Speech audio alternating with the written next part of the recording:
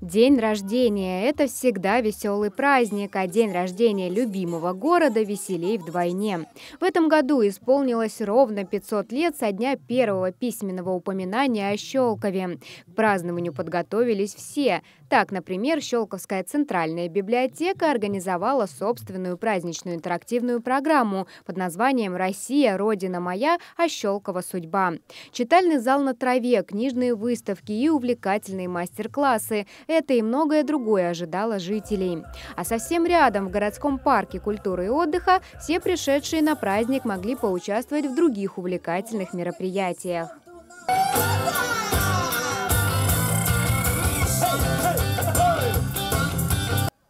Жители Щелкова могли узнать, как раньше делали хлеб с помощью специально воссозданной локации, где можно было увидеть небольшую мельницу, настоящую русскую печь, а также инвентарь, которым пользовались при изготовлении хлебобулочных изделий на Руси.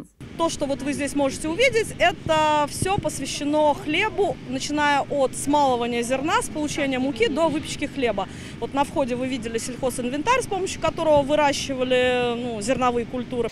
Отметить День города в парк культуры и отдыха жители пришли семьями. Поэтому большинство развлекательных программ и мастер-классов было рассчитано на всех членов семьи, как взрослых, так и маленьких.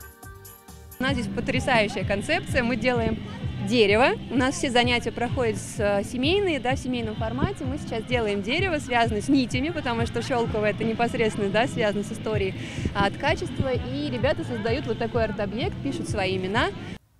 Всевозможные конкурсы, аквагрим, рыцарские бои, чего тут только не было. Настроение у всех пришедших на праздник было отличным. А как иначе, когда вокруг столько интересных развлечений. Как у вас настроение? Отлично все.